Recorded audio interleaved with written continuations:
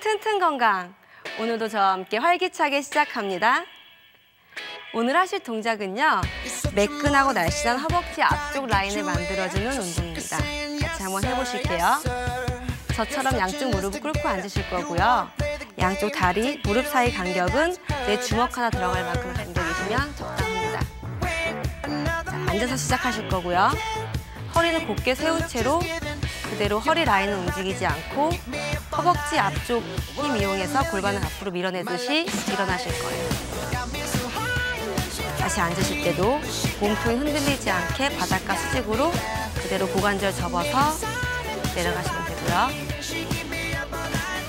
다시 위로 up.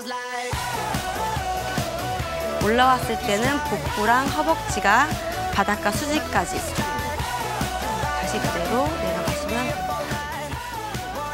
동작 이게 쉬우신 분들은요 어깨 운동도 같이 한번 해보실 거예요. 양손에 페트병이나 아령 같은 거 들어도 괜찮고 맨손도 괜찮아요. 이 상태에서 올라가면서 같이 툭툭 길어지게.